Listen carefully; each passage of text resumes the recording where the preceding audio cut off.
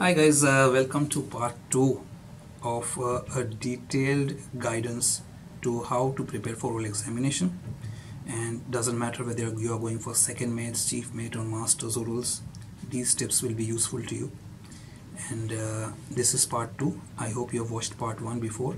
There were some there were 10 important tips discussed there.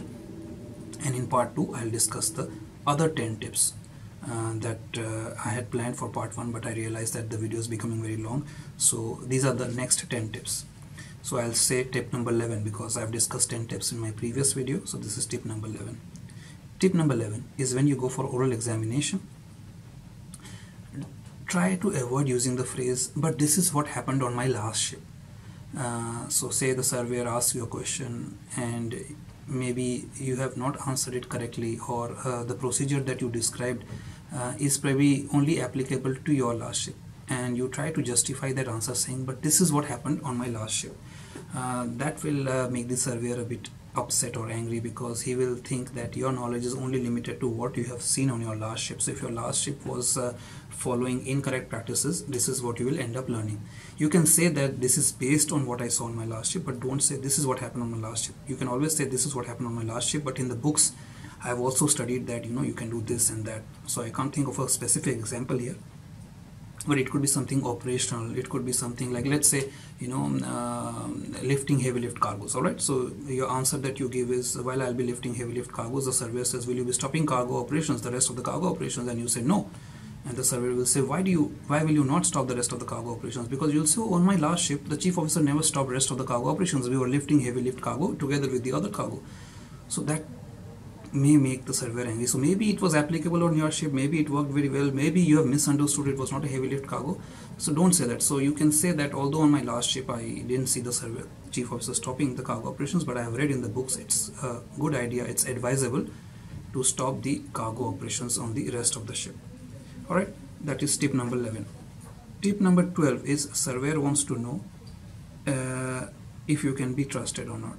So all that you do is that you have to demonstrate that you can be trusted or not. So part of that is of course being honest, uh, accepting your mistakes, accepting that you don't know everything, calling the master when you are required to or calling the chief mate when you are required to, uh, being honest and showing those officer like qualities. This is what he wants to see.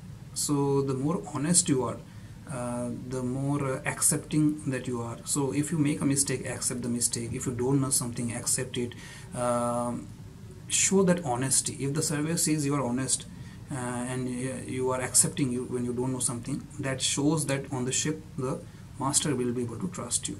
All right so be honest in your um, in your approach. Uh, don't try to impress the surveyor by, by you know bullshitting uh, or trying to fib your way through or trying to act smart. Don't try to act smart. Be confident but not over smart tip number 13 is as a chief mate or a master when you go for orals of course in my previous video I told you you still have to study rules of the road.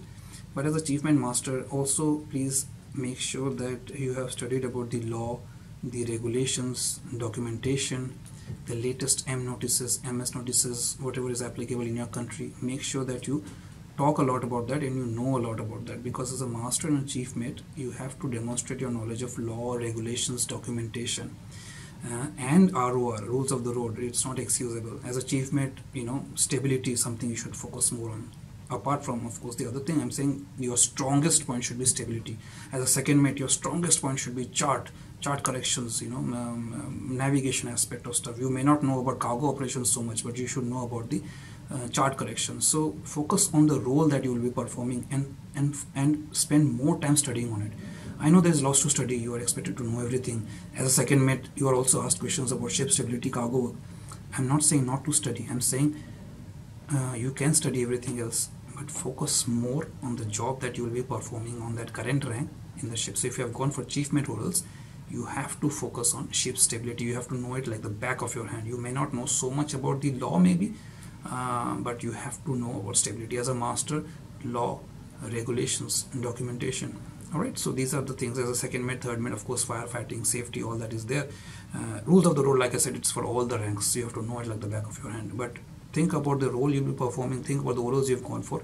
Think about what job they do on the ship and you have to know about that all right so when i say stability as a chief mate i don't mean only stability on one type of ship that your type of ship or the ship that you have been sailing on. You can't just say i know stability about container ships. No you have to know about stability about grain carriers rules of uh, um, sorry our uh, ro ships grain carriers uh, timber ships so on and so forth. So you have to know about stability about all kinds of ships tip number 14 uh, not tip number 14 but before i finish here you have to show the surveyor as a chief or master that you are capable of making decisions on your own. You are not relying on um, uh, you know you don't have the luxury of calling the master as a chief or master.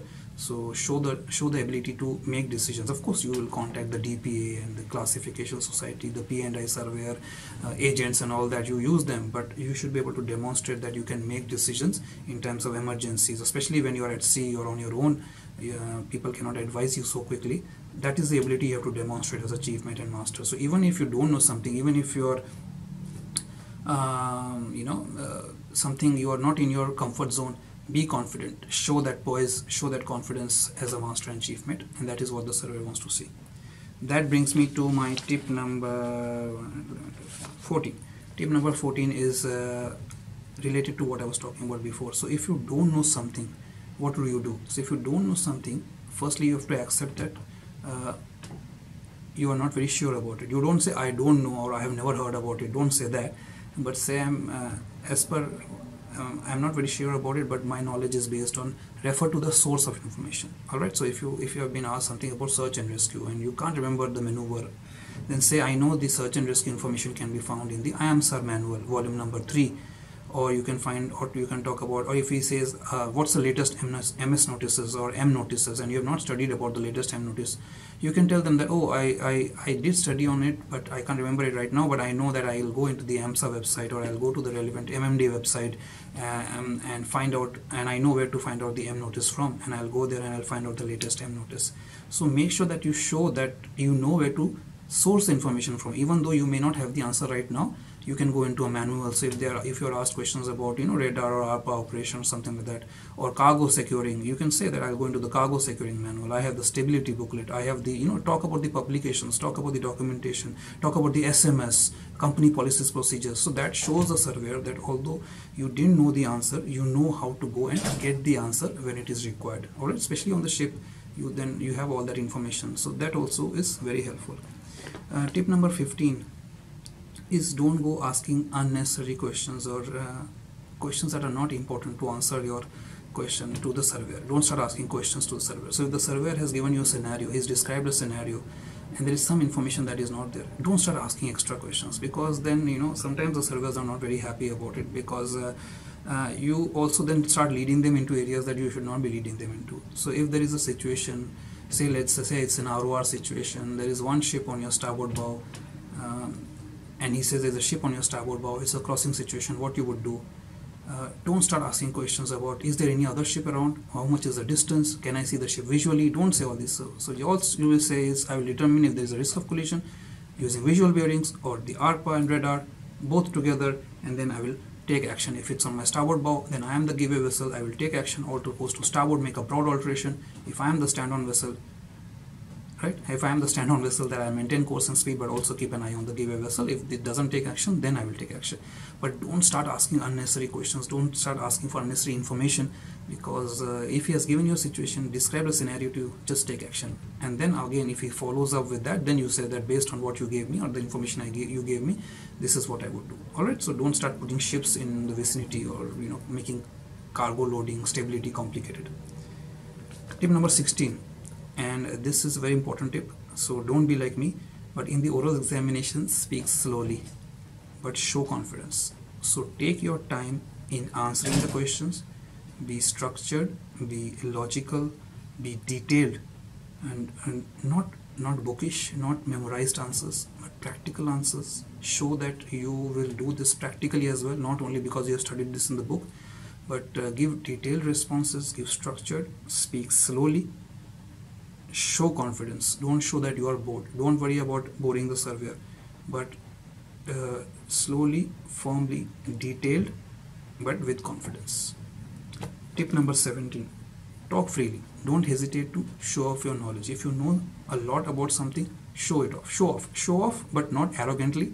Uh, not in a way that you know the surveyor will say why is this guy being arrogant? Be humble about it but talk about it with passion. Talk about it that shows that your knowledge don't think that the surveyor is getting bored or that you should probably stop talking now. He will stop you if required or she will stop you if required. But you keep talking about it. If, especially if you know about an area it's a good idea for you to talk more about it because then the surveyor you're kind of impressing the surveyor slowly and steadily because the surveyor says oh or he's thinking in his mind that this guy has studied or this girl has studied um, in quite detail. So talk as much as you want but you know um, uh, don't worry about boring surveyor. Talk freely show with confidence show passion show that you have studied. All right that is tip number 18 the survey will stop you if required. Tip number 17 it was i think. Okay tip number 18 if the surveyor says what else?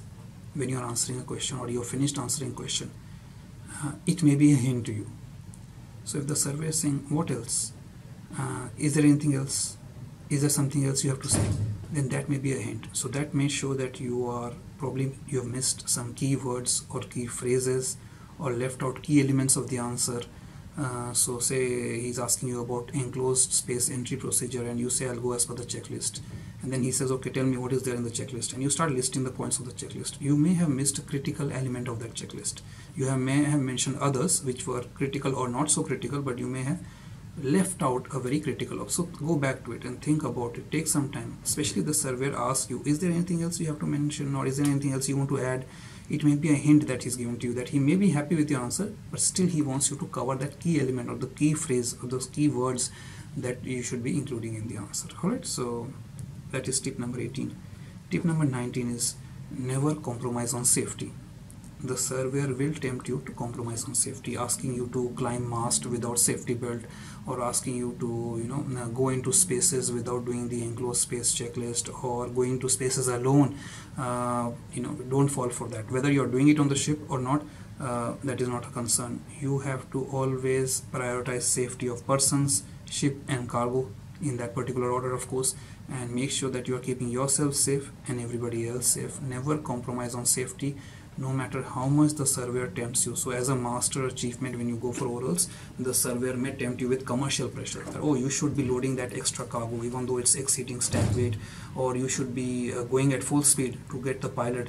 Yeah, because you know if the pilot uh, is delayed then the ship will be fined or uh, no you should not fall for those commercial pressures especially if it compromises safety. You should fall for commercial pressures only if it's an operational point of view but not from a safety point of view. Always prioritize safety always. Alright? And the last tip and very important tip. The day before your orals stop studying at 5 p.m. by 5 p.m. in the evening you should stop studying. If your orals is next day in the morning or even in the afternoon stop studying. By 5 or 6 you should be stop studying. Have your dinner rest relax watch a movie meet your friends don't go drinking or smoking or anything like that uh, relax your mind. Do meditation if you have to. Exercise uh, but relax your mind. If you have not studied something till 5 p.m. the previous day I don't think it's going to help you after that anyway. You must stop studying by 5 p.m. the previous night. Relax talk to your friends. Don't talk about studies talk about anything else. The important thing is to relax your mind. Let all that information that you have been studying settle into your mind. All right? Be confident doesn't matter. You can never you have to accept that you will never know everything about ships. Even i don't know although i've been uh, in this profession for so long. So you have to be confident about what you know and accept what you don't know and that you don't know everything. It's not life or death. You will get another opportunity. If worst case scenario you will fail. But whatever you know you should be confident about it and you should stop studying the previous night. Don't start cramming in the morning. Don't start memorizing stuff in the morning of your orals. That will uh, shake your confidence so have faith in yourself. Doesn't matter. Don't go asking questions or what is the surveyor asking. No, just stay still. Maintain that stillness. Have faith in your planning and the way you went about it, and then go for orals, hoping for the best. All right. So I'll repeat my tip number 11 to 20. Uh, tip number 11 is don't mention the phrase on my last ship. This is what happened. Tip number 12 is surveyor wants to know that if you can be trusted, so be honest. Tip number 13 is as a chief mate master or second mate also focus on the aspects of the job that you will be performing. So as a chief mate you have to know about stability on all kinds of ships. As a master law documentation all that is important. Tip number 14 is uh, if you don't know something mention the source of information. Tip number 15 don't go asking unnecessary questions and unimportant information that surveyor has not given out initially. Tip number 16 speak slowly but with confidence. Tip number 17 is talk freely show off your knowledge but be humble about it let the surveyor stop you if required tip number 18 if surveyor says what else or is there anything else you want to add think about it you may be missing something. Tip number 19 never compromise on safety no matter what happens. And tip number 20 stop studying by 5 or 6 in the evening the previous day of your oral examination. Relax your mind, meditate, have faith in yourself, accept your limitations, accept your strengths, and then go with confidence for your oral examination. Guys, I hope these two videos helped you uh, with some important strategies and tips that you can employ for oral examination. Thank you for watching the channel and keep giving me feedback on what you want to see next in my videos. The only reason I have started this channel is to help my fellow mariners with all the information that was not available to me when I was a student. Thanks for watching and bye for now.